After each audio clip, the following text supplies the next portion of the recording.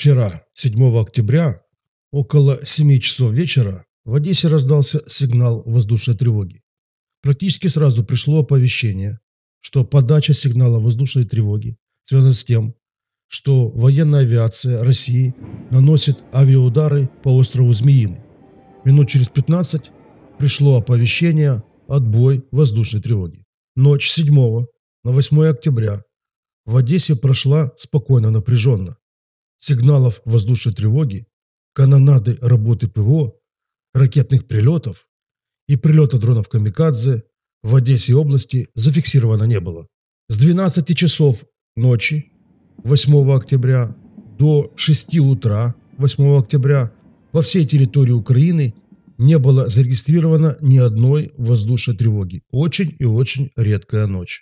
Моим дорогим соотечественникам и землякам мирного неба, всего самого наилучшего. Берегите себя, дорогие мои. И даст Бог. До новых встреч.